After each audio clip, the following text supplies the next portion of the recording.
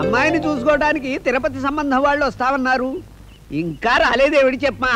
వస్తూ ఉంటారు. వస్తుంటారా? ఎందుకు? చెవిటి మాలోకం వస్తుంటారు కాదు. వస్తూ ఉంటారు వస్తూ ఉంటారు.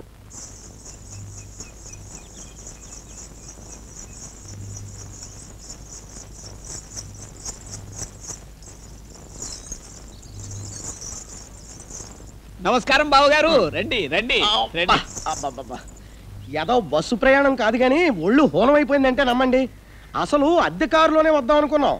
అనవసరంగా మీకు ఖర్చు ఎందుకు కానీ బస్సులో వచ్చాం. ఆహాహాహా. ఇప్పుడు మీరు పాడిన పద్యం ఉంది చూశారు? అద్భుతంగా ఉంది. ఏమండి ఇప్పుడు నేను పద్యం పాడానా? తమరు మరోలా అనుకోకండి.